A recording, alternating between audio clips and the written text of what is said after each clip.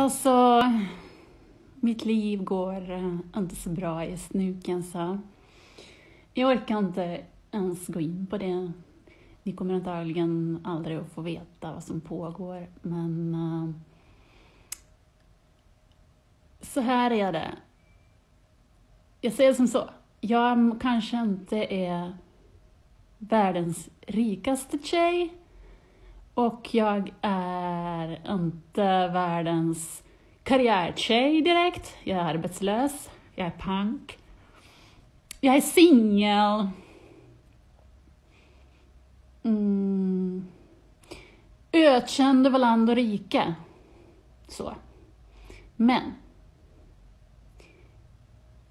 Jag är kanske ändå inte den fulaste, om man säger så.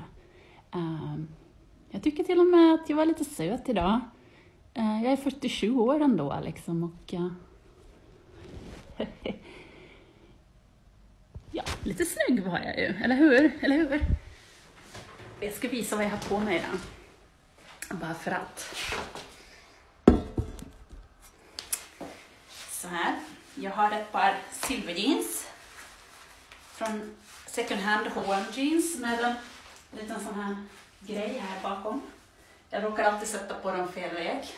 Ja, men jag vet inte om det syns. De är lite så här silver ljusblå.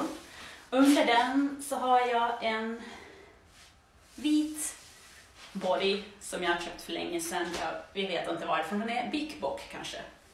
Jag, jag har ingen aning.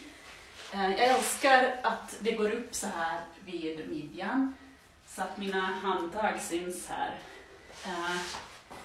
Just, jag har just sagt upp mitt gymmedlemskap, men det gör inte så mycket. Formen kommer att hållas.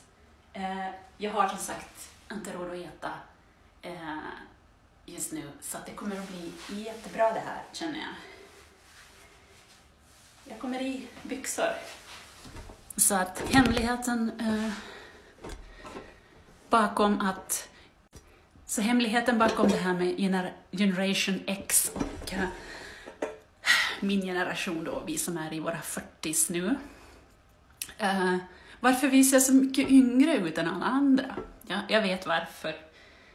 Uh, varför vi ser så mycket yngre ut än andra generationer. Uh, det beror på att vi har nog varit rätt så fattiga jämfört med andra generationer. We don't have many pennies to our name, om man säger så. Det kan vara det, kan vara det.